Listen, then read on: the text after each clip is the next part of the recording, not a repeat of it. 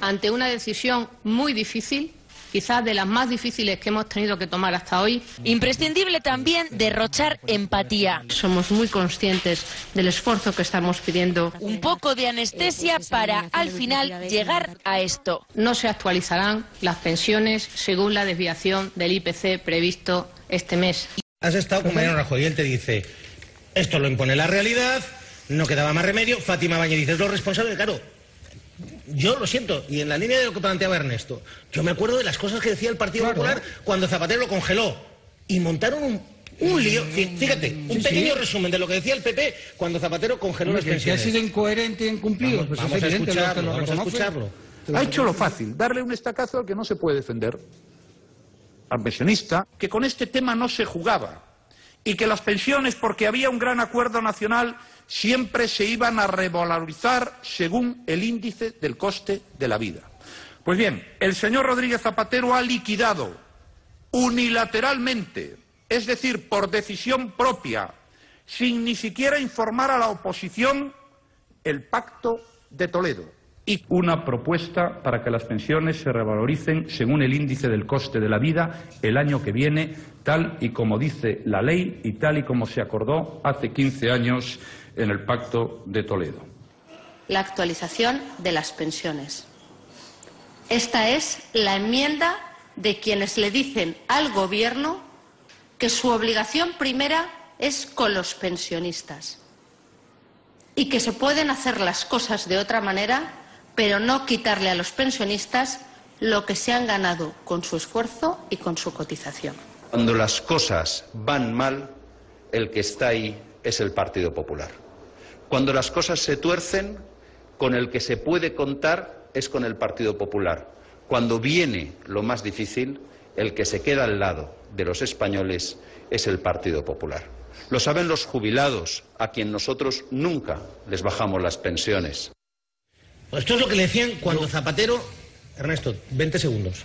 No, no, yo. eh, el proceso por el cual se decide no revalorizar las pensiones es muy importante. Por Te, lo planteo ahora mismo, te lo planteo ahora mismo, porque claro, a mí es lo que me desconcierta. Decir, oye, fíjate las cosas que le dijeron al gobierno socialista cuando las congela. Por cierto, la congelación o la no revalorización tiene un nivel adquisitivo mayor ahora que, que entonces. Pero es que luego, promesas electorales, campaña electoral, campaña electoral, y el PP aseguraba, juraba, perjuraba que no lo iba a hacer, que no iba a tocarlas, que no las manchaba. las Yo soy partidario de que se suban las pensiones. Vamos a subir las pensiones.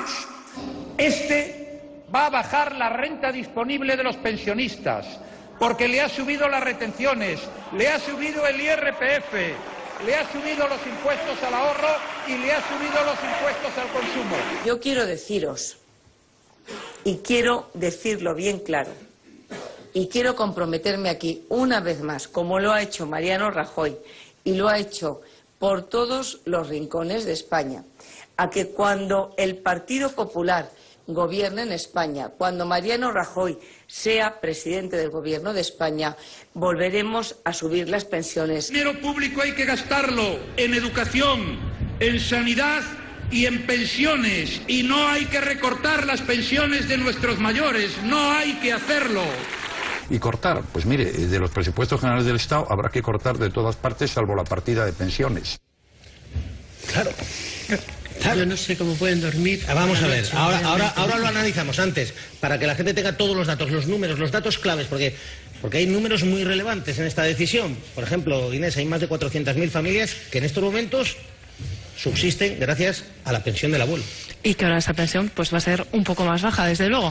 Bueno, la duda se despejaba este viernes, lo que hacía falta saber era cómo nos afectaba, cómo va a afectar a los pensionistas esta medida del gobierno. Habrán oído que se sube un 1% las pensiones para aquellos que cobran más de 1.000 euros al mes, sin contar en esos 1.000 euros con el prorrateo de las pagas extra, y, la, y que se subiría también un 2% la pensión de aquellos que ganan pues una pensión inferior a 1.000 euros al mes. A pesar de ese 1% o ese 2% más, los pensionistas van a perder poder adquisitivo, van a tener menos dinero en la cartera. ¿Cómo es posible que pierdan dinero si se sube ese 1 o ese 2%? Pues muy fácil, porque el precio de las cosas sube mucho más. El IPC está en el 2,9% ahora mismo, así que en el mejor de los casos los pensionistas perderán un punto de su poder adquisitivo, aunque podrán llegar a perder hasta 2%. En el último año del gobierno de Zapatero, pues se congelaron las pensiones. Es cierto que fue la primera vez que se hacía, pero también es cierto que las pensiones mínimas no se congelaron. Aún con todo, el poder adquisitivo que perdieron entonces los pensionistas era de un 1,2%, menos de lo que van a perder los pensionistas en el próximo 2013. En teoría, lo que ocurre cada año es que en el mes de enero los pensionistas reciben un extra. Es el dinero que se les da por ajustar lo que cobran con la subida de los precios, el precio de la vida. Este año, en enero de 2013, deberían recibir una paga de más de 200 euros. Una paga que finalmente no van a recibir. Así que si usted es un pensionista medio, es decir, que gana en torno a unos 800 euros mensuales, tiene que saber que cada mes va a cobrar casi 16 euros menos. Esto en todo el año es una cantidad nada despreciable de 436 euros menos. Más de 400 euros vitales cuando sabemos que en España 422.000 familias subsisten gracias a la pensión de los abuelos. 422.000 familias que este año van a cobrar menos. Imagínense, es como la población de toda la provincia de Cáceres. Algo tan grave que es hasta anticonstitucional, es lo que opina Comisiones Obreras, que va a acudir a la defensora del pueblo. Les apoya Izquierda Unida. Esta mañana lo confirmaba Cayo Lara.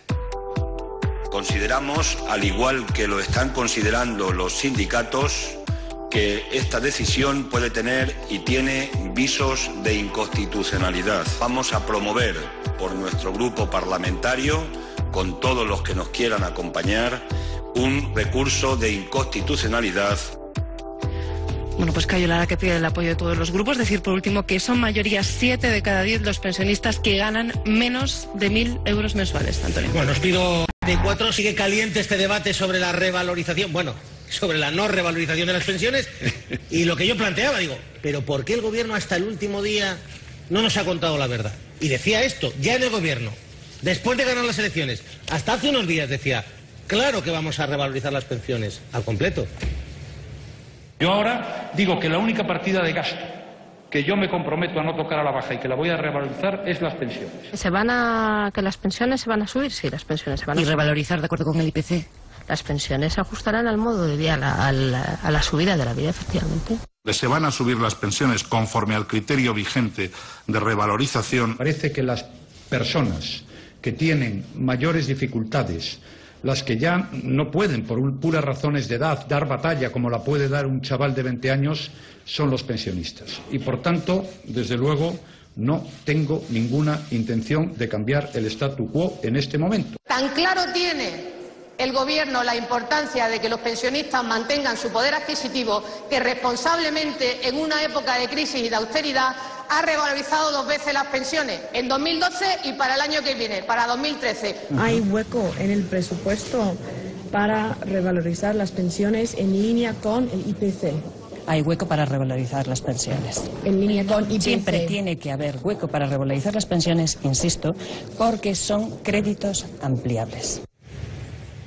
Ernesto, ya sabían que no iban a revalorizarlas Sí, sí, sí, ya, ya, sabían. ya sabía. Mira, yo el 14 de octubre, eh, José Manuel, me has pe- me has pedido algunos eh, entresijos, te cuento. El día 14 de octubre, José Manuel Soria, que es economista y además ministro de Industria de este gobierno, hizo unas declaraciones a un periódico diciendo con toda seguridad que se iban a revalorizar las pensiones. Ese mismo día, por otras razones, yo llamé con, una- con otro ministro del gobierno. Eh, y al final de nuestra conversación le dije, pero oye, esto de José Manuel Soria me, sorprende porque no es, la, no es lo que habíamos hablado. Me dice, no, no te sorprenda, eh, José Manuel Soria está eh, equivocado, está decidida la no revalorización de las pensiones. Me dice, pero tú crees que en las condiciones actuales, en las relaciones nuestras con el rescate bancario, eso era el 14 de octubre. No, esta persona me dijo esto, yo lo tomé nota. Pero tengamos en cuenta lo siguiente, Cándido Méndez habló el día jueves con Fátima Báñez, ministra de Trabajo, y le, y le dijo, ministra, en una conversación de las tantas que tienen, ministra, ¿qué va a pasar con la revalorización? Ya sale el IPC eh, mañana viernes. Y la ministra dijo, no hay nada decidido, no hemos decidido nada. Y permíteme que cite a José Manuel García Margallo, hemos estado aquí el día jueves, el día jueves pasado, después de la salida, eh, estábamos eh, Antonio García Ferreras, el conductor de este programa, una eh, otra periodista y, una- un miembro del gabinete del señor García Margallo, y yo le pregunté, José Manuel, dínoslo ya, ¿qué vais a hacer con las pensiones? ¿Vais a subirlas con el IPC? Y José Manuel García Margallo, que me corrija eh, Antonio García Ferreras, dijo, vamos a subir, vamos a revalorizar según el IPC. Eso lo dijo el jueves a las que había dos sensibilidades en el gobierno. Dos y entonces Había mi- dos sensibilidades Mi impresión es la siguiente, es peor todavía. Mi impresión es que hay materias reservadas en ese Consejo de Ministros.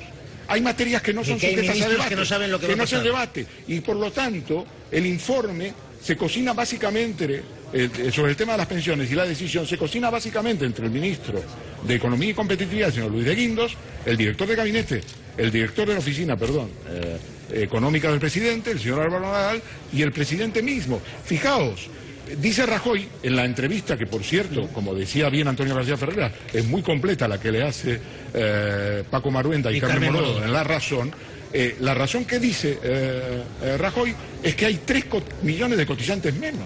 Pero ¿qué pasa? Se enteró el día jueves a la tarde el señor Rajoy de que hay 3 millones de cotizantes menos de la Seguridad Social. Es decir, este es un tema que ya está aquí. Hemos sabido la tasa de paro, por cierto, luego hablaremos del paro registrado que sale mañana del mes de noviembre, que te adelanto un poco cómo va a ser. ¿Me lo, me lo adelantas tres minutos antes de acabar el programa? Perfecto. Entonces, lo que digo es lo siguiente. Este gobierno, y además tengamos en cuenta una cosa que es muy interesante, el 14 de noviembre, día de la huelga general, Oli Rehn echa una mano al gobierno de Rajoy. Hace unas declaraciones en esa tarde diciendo que el gobierno va por buen camino en sus reformas y que ya no va a haber más austeridad. Es que el señor Oli Rehn sabía que la última medida de este año de la austeridad era la no revalorización de las pensiones. Pero porque No sé si forma- está claro. Porque forma parte de ese paquete de austeridad. Claro, era- exactamente. sí. Él ya sabía que no iba a haber, cuando él dice no va a haber más austeridad, en línea con lo que dice Guindos de que ya es suficiente y todo esto, él ya sabe que ese, la no revalorización de las pensiones, forma parte. A ver, Ernesto, yo te lo pregunto porque, a ver. Paco Marguenda, que ha estado con Mariano Rajoy estos días, dice, bueno, es que él he entendido algo así como ha querido apurar hasta el último minuto para ver si era posible o no era posible. Yo qué sé, los ingresos, un fenomenal. la amnistía fiscal. pasa del 3,5 al 2,9. Mejores condiciones que esas. No, a ver, porque la cantidad a pagar es menor. Pasa de 5.000 a 3.800 millones. Son 1.200 millones de euros menos. Sí, pero ahí hay... que también lo recurrirá en Madrid.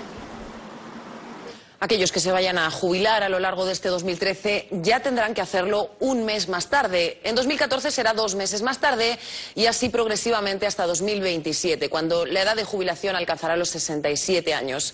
Hoy entra en vigor la reforma que también hace que nuestra pensión se calcule en base a los últimos 25 años trabajados y no 15 como hasta ahora.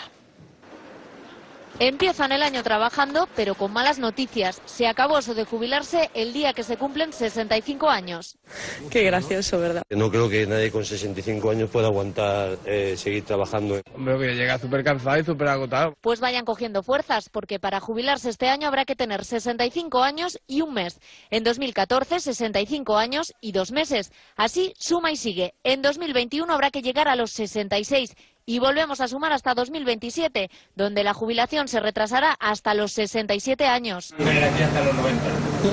Pues mira, este hombre va a estar con la cámara hasta que se muera. Tú con el micrófono hasta que te mueras. A los 67 tengo ya las piernas estiradas. No desesperen, todavía hay una oportunidad para librarse, aunque habrá que trabajar muchos años. Yo llevo 22 años trabajando. Muchos más. 38 años y medio cotizados es la cifra mágica para seguir jubilándose a los 65. 26 cotizados más 18, 44 años.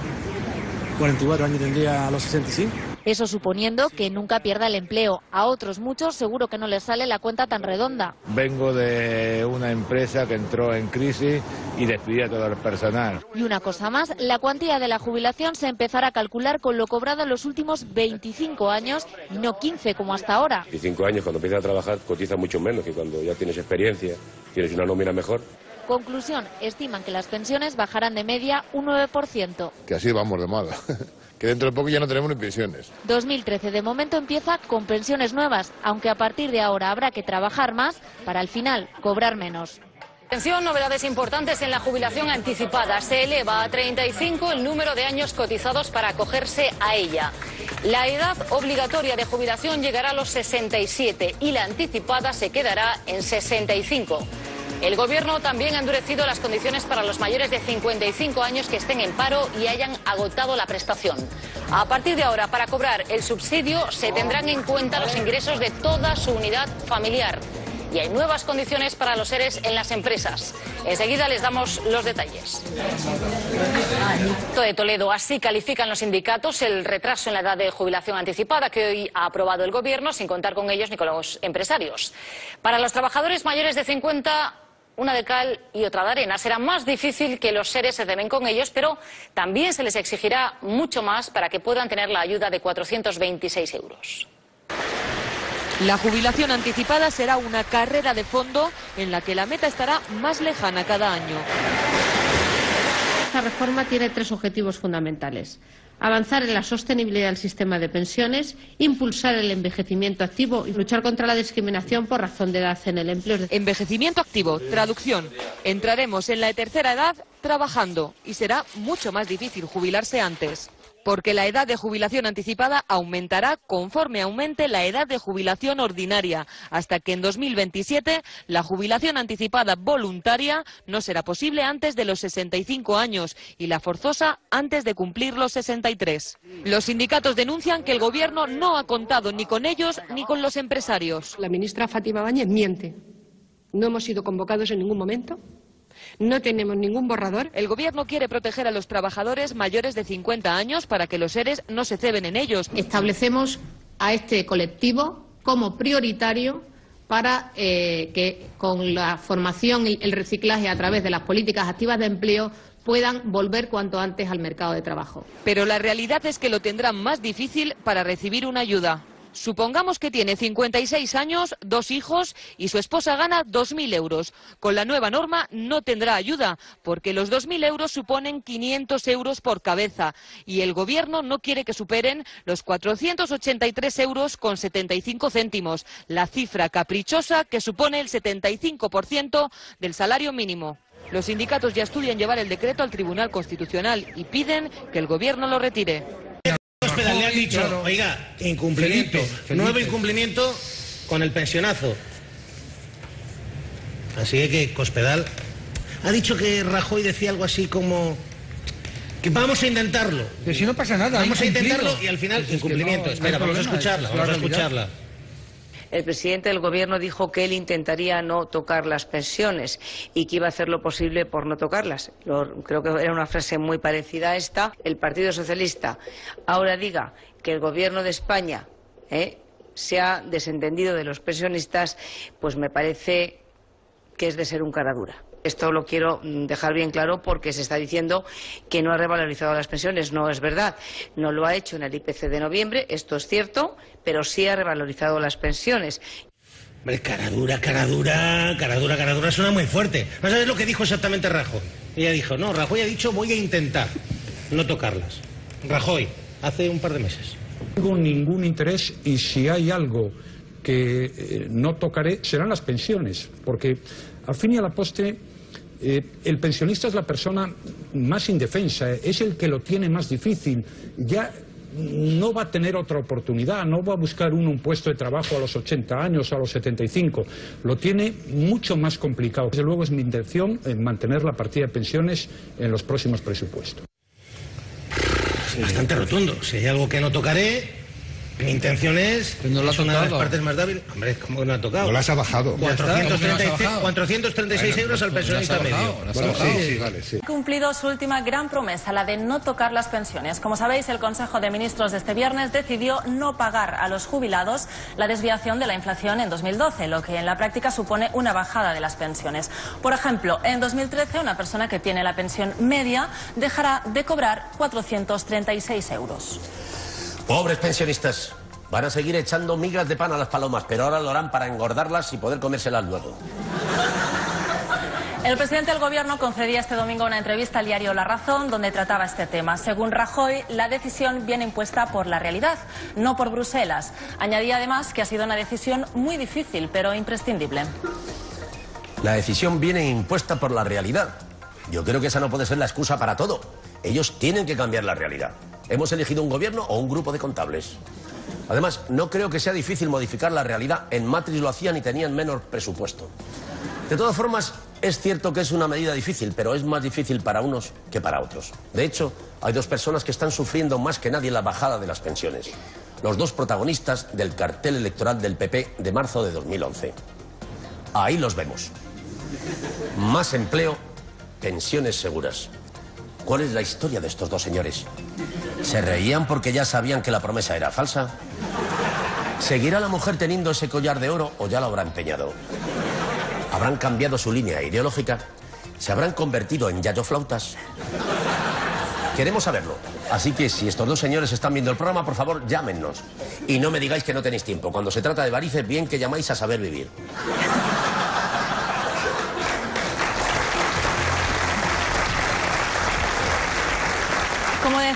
Esta decisión de no ajustar las pensiones de acuerdo con la subida de los precios es la última promesa incumplida del Gobierno. De hecho, hasta hace menos de dos meses sostenían lo contrario. Y como siempre, la hemeroteca le juega una mala pasada al Partido Popular.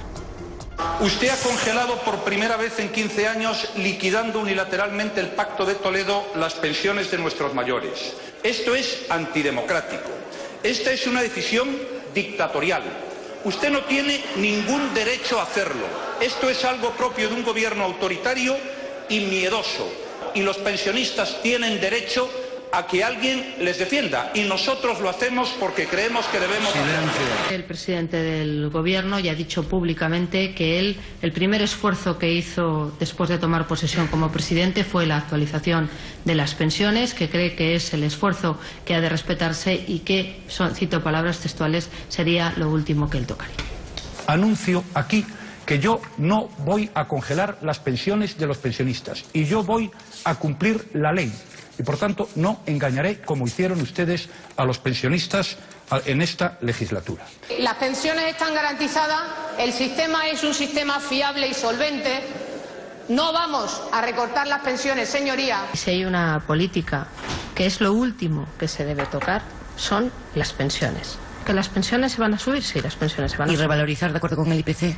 Las pensiones se ajustarán al modo de vida, a la, a la- a la subida de la vida, efectivamente. Porque los pensionistas de mañana y de hoy tienen que estar tranquilos que hay un gobierno responsable que está de su lado. No tengo ningún interés y si hay algo que eh, no tocaré serán las pensiones, porque a fin y a la postre eh, el pensionista es la persona más indefensa, eh, es el que lo tiene más difícil. Sí, cambian mucho de opinión. Si lleváramos la política del PP a la medicina, un día el médico te diría que estás como Dios y al día siguiente que estás a punto de verlo. Este Gobierno se ha especializado en incumplir las promesas electorales. Hagamos un repaso de ellas. La subida del IVA es el sablazo que el mal gobernante le pega a todos sus compatriotas que ya están muy castigados por la crisis. El no más rotundo, más firme a la subida del IVA. Y lo que necesita España no es facilitar el despido, no es fomentar la salida, sino fomentar la contratación. Nosotros no somos partidarios de abaratar el despido. Nosotros aspiramos a que se creen en la próxima legislatura tres millones y medio de puestos de trabajo. Pero habrá tres cosas que no se tocan porque son sagradas para nosotros. La educación, la sanidad y los servicios sociales y las pensiones. Eso no se toca. Que reduzcan en todo aquello que se puede reducir, salvo en las políticas sociales y en particular educación, sanidad. El compromiso de este Gobierno y de este Ministerio, que es para garantizar una sanidad pública, universal, de calidad y gratuita para todos los españoles. Decidir qué no se podía tocar, desde luego está una sanidad pública, universal y gratuita, una educación pública, universal y gratuita y de la mejor calidad y unos servicios sociales y unas pensiones garantizadas para todo el mundo. Hasta ahora los únicos que han aportado dinero a las entidades financieras, bancos y cajas de ahorro han sido ustedes. Y yo desde luego no pienso dar ni un solo euro de dinero público a diferencia de lo que han hecho ustedes. No habrá un banco malo en España Y de hombre, hasta ahí podíamos llegar. Hasta ahí podíamos llegar que no pagara la prestación por desempleo a la gente que se la ha ganado por estar trabajando. Hasta ahí podíamos llegar. Dicen que suben los impuestos, pero por otro lado hablan de una amnistía fiscal a los que no pagan. Miren, ni subir los impuestos ni perdonar a los que no pagan. Entre una situación paradójica en España y es que a los que pagan los impuestos se les suben y a los que no pagan los impuestos se les concede una amnistía o se les perdonan. Entonces, yo no soy como usted. Yo lo que no llevo en mi programa no lo hago. Por tanto, no me confunda. Bueno, efectivamente, saltándose sus propias promesas, Rajoy ya ha cumplido con Bruselas, aunque hubiéramos preferido que hubiera cumplido con España. Fuimos nosotros los que le dimos el trabajo, aunque puede que esté enfadado porque el contrato es temporal. Bueno, la pregunta, ¿cuánto se ahorrará el gobierno no revalorizando las pensiones? En total, 3.800 millones de euros. ¿Y esto es mucho o es poco? Pues depende. Efectivamente. Todo depende de con quién lo compares o con qué. ¿Soy guapo? Pues no si me comparas con algunos hombres. Aunque puedo llegar a ser resultón si me comparas con algunos animales. Pues esto es igual, 3.800 millones de euros puede ser poco dependiendo de con qué lo comparemos. Por ejemplo, hoy el Eurogrupo ha aprobado las ayudas a la banca española. La inyección será de 37.000 millones de euros. Pues bien, de este dinero el Banco de Valencia recibirá 4.500 millones de euros para ser vendido después a CaixaBank por un euro.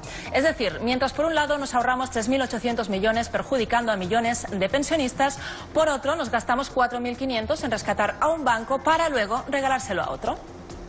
Bien, esto puede parecer raro, pero hay una explicación.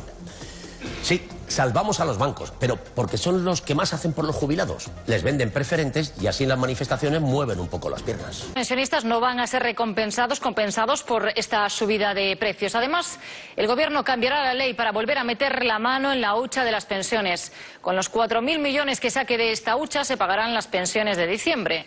Para la oposición y los sindicatos es el enésimo ataque a los más débiles, justo ahora que la pensión se ha convertido en el único ingreso en miles de hogares. Para dar una mala noticia, nada como recurrir a la pena. Ante una decisión muy difícil, quizás de las más difíciles que hemos tenido que tomar hasta hoy. Imprescindible también derrochar empatía. Somos muy conscientes del esfuerzo que estamos pidiendo. Un poco de anestesia para, al final, llegar a esto. No se actualizarán las pensiones según la desviación del IPC previsto este mes. Y eso significa que cada jubilado dejará de ingresar en enero 16 euros. Y además, durante todo 2013, los que ganan más de 1.000 euros perderán 192. El resto, los que ganen menos de esa cantidad, perderán 96 euros durante 2013. El gobierno de Rajoy ha vuelto a mentir gravemente. El gobierno ni siquiera actualiza las pensiones mínimas. Estamos ante una- un proceso de reforma por fascículos de la reforma de la seguridad social. Eso lo que supone es agravar aún más la situación ya muy difícil de los pensionistas españoles. Y otro anuncio, la paga extra de Navidad de los jubilados saldrá este año de la hucha de las pensiones. Para ello el gobierno cambiará la ley. Isidro y Albina tienen una pensión y tres bocas que alimentar. ¿Qué más quisieran los hijos que no tener que pedir a los padres? El suyo de 48 años está en paro y hace tiempo que vive de ellos. Pobre chico, encima de que está sufriendo, que no tiene un trabajo. Así que esta familia exprime el dinero al máximo. También Antonio, Manuel y David. Con una pensión modesta, que estoy tratando de ayudar a mis hijos. Según la Caixa, unas 300.000 familias sobreviven gracias a la pensión del abuelo. Mirándolo mucho, estrujándolo, pues llegamos. Mi pensión es muy baja. Después de tantos años me ha quedado bajita. Pero paga la comida, la casa, el cole de los nietos o sus medicinas, que ya han dejado de ser gratis. Pero que con los gastos, la luz, el teléfono, todos los gastos de la comunidad y todo, todo es muy caro y las pensiones no las suben nada. Al revés, en 2013 todavía perderán más poder adquisitivo. Y ahora gano sesenta y tantos euros menos. Y lo peor, cada vez tienen más cosas que pagar, más caras y con menos dinero. Por suerte o por desgracia he llegado a ser pensionista. Desde hoy saben que el año que viene serán un poco más pobres, Lo poco que me sobra me lo juego por si acaso. pero lo llevan con una sonrisa. Con esta medida de no ajustar las pensiones al incremento de los precios, Rajoy incumple la última promesa que le quedaba. En menos de un año el Gobierno ha hecho prácticamente todo lo que dijo que nunca haría. Ha subido el IVA y el IRPF, ha quitado una paga a los funcionarios, ha reducido el subsidio de desempleo, entre otras muchas cosas. El gobierno de Mariano Rajoy tiene Unos auténticos maestros en decir una cosa y hacer exactamente la contraria. consejos vende. Conviene no engañar a la gente, ¿no? En pensiones, hoy ha dicho Diego, pero hace tiempo dijo Digo. Hay una partida que no voy a tocar, como he señalado. Es más, que voy a subirla, la revalorización de las pensiones. Nuestro objetivo es garantizar el derecho a la jubilación y el poder adquisitivo de los pensionistas. No ha cumplido nada. Machacó a Zapatero por subir los chuches y subió los chuches. Los chuches. Va a subir el IVA de los chuches también. Yo no era partidario ni de subir el IVA ni de subir el impuesto a la renta a las personas físicas. No era partidario. Es decir, he tenido que hacer cosas que no iban en mi programa electoral y que no me gustan. Juró y perjuró que no tocaría sanidad y educación. Los temas de sanidad y educación hay que subir los presupuestos. Mintió.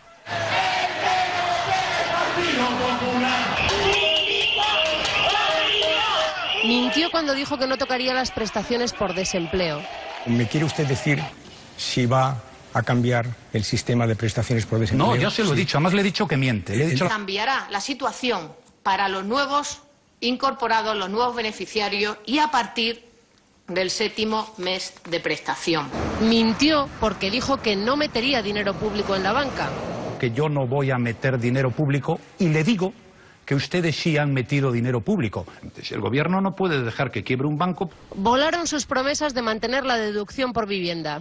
Y recuperaremos la deducción en el impuesto por inversión en vivienda habitual. Va la supresión de la deducción por adquisición de vivienda. Desde que llegó al gobierno, Rajoy ha dicho una, una verdad como un templo. Y haré cualquier cosa que sea necesario para sacar a España de esta situación, aunque no me guste y aunque haya dicho que no la iba a hacer. Por cumplir el déficit, este gobierno tiene disparado otro déficit.